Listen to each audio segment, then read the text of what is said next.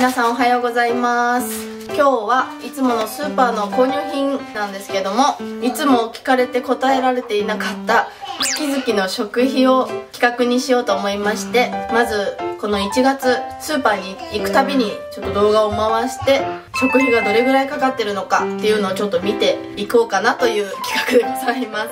今日は1月4日で新年初めての1回目のお買い物に今行ってきたところです、まあ、全部の分を購入品紹介するとちょっと長くなりそうなので購入し購入購入。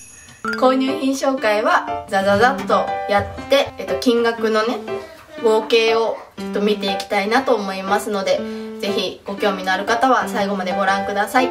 それではまず1回目のお買い物内容です。今日は2袋ありましてきのこともやし。最近漬物にはまってるのでこういうなんかねネバネバ系のものが好きでよく買ってます。惣菜っていうの？シャウエッセン。朝ごはん用のものが全然なくなっててこの朝ごはんのセットメインですね。納豆とかをたくさん。納豆は6パック買ってきました。あとは麻婆豆腐にしようと思って絹豆腐を2丁と。今日はバナナがないからそれを買ってきました。最近ハマってる鶏ももです。3枚ですね。今日ね安かったの。これが安くて買ってきました。あとは卵を2つ。この低脂肪乳が6本ございます。はい続きまして2袋目。ちょっと濃くてしょっぱいもの欲してる時に美味しいの。今日の夕飯唐揚げと焼き鳥の盛り合わせを楽するために買っちゃいました。あとはパンもなくなってたのでパンと私の辛いものも補充です。あと近々カレーにしようと思ってるのでカレーのルー。あ見て。合格祈願のだるま。食べた方がいい。しかもね目のところがねその具材になってる。ねえねえの好きなカップヌードル。受験バージョンがあったので買ってきました。今日の購入品はストック用とかじゃなくてなんか足りないものを少し買った感じなのでお値段もそこまでじゃなくて今日のお合計は9573円です。これでそんなするの？いつもの安いスーパーじゃなくてと近場の方に行ってしまったので割とお高めのお値段です。うちからしたら。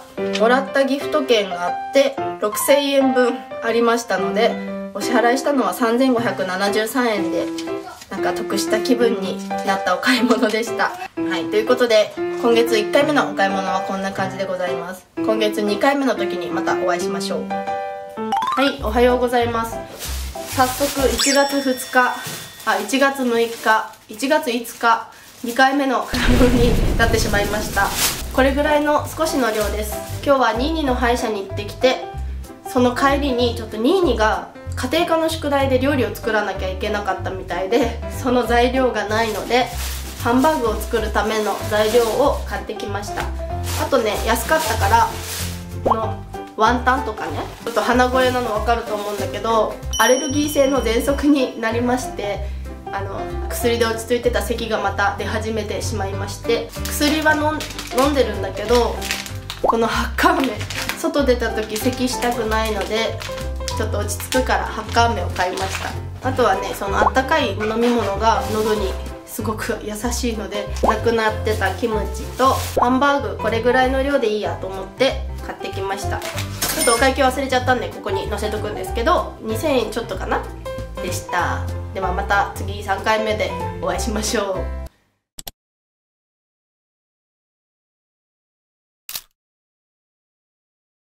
はい。何回目だ？3回目のお買い物です。今日は牛乳がなかったので牛乳だけ買ってきました。牛乳だけじゃないんだけど。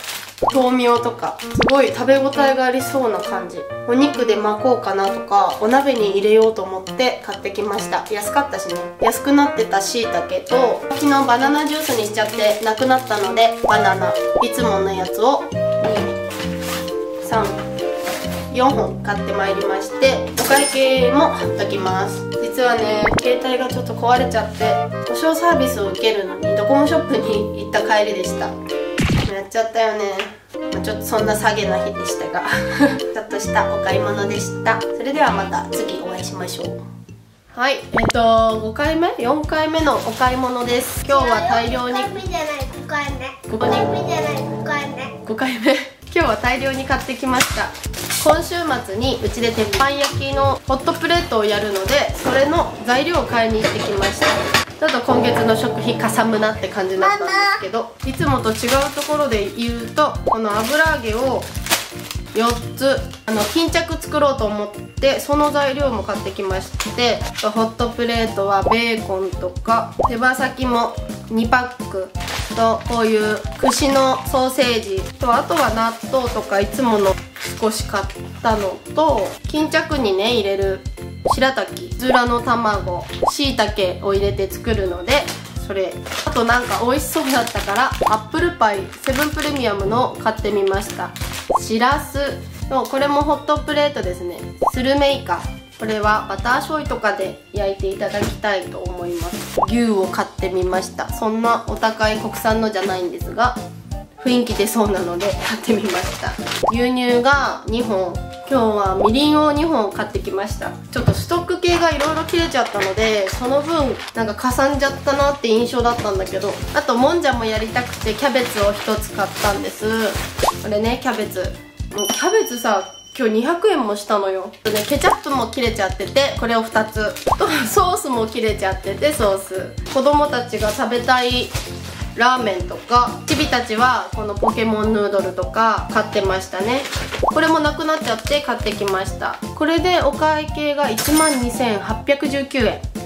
お肉は近くの精肉店にたまに行くんだけど豚タン300とあと豚ハツを200あと味付きの味付きのレバーも200買ってきましてこれで1200円ぐらいかな。はいこんな感じでした。もう月も半分ぐらいになってきたのでこれでちょうど半分ぐらいなのかな？と思います。引き続きぜひご覧ください。牛乳とか卵とかが全くないんだけど買い物に出れそうな時間がないので買ってきてくれました。こういうねなくなってた麦茶パックとかですね。あとコーヒーとかなんかインスタントのコーヒーとかストックが多い。あとバイバニラじゃない。バターとかね。ありがとういえいえ。あーありがとう。ジャスミン茶。あとは箱の炭酸？炭酸？活躍したうん。では次。では次は大きい買い物になるかなと思います何回目か忘れましたが今日のお買い物です。今日はもう低気圧と生理痛で死んでおります。でももう冷蔵庫何にもないし給料日前だから外食もなと思って頑張って行ってきました。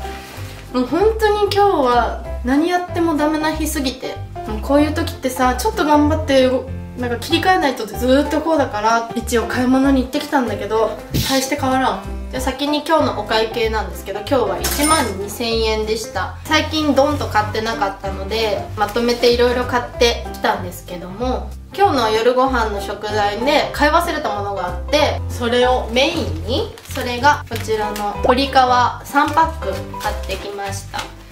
ねーねがねもうすぐお弁当の日なんですけども鶏肉が全然ないのでこの鶏肉3枚入り、まあ、いつも通りなこういう朝ごはんセットとかも合わせて買ってもうすぐ節分ということでヒイラギも買ってきました。絆創昆布だったり豆。ねーねがお弁当に入れると喜ぶこの冷凍のパスタ。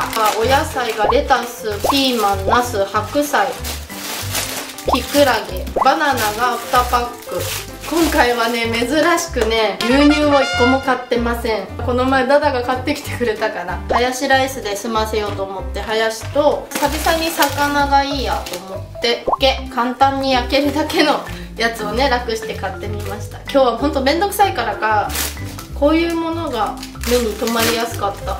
新玉ちゃんが出てたのでき揚げかオニオンサラダにしたいなと思って新玉ねぎ。で人気ですこれは。あとは変わらないような感じで。はいじゃあずっとね購入品だけなので今日はこの巾着をね作っててしいたけと白滝とあとうずらの卵と入ってるんですけどあの鶏皮を入れるの忘れてそれのあの買い物だったんです。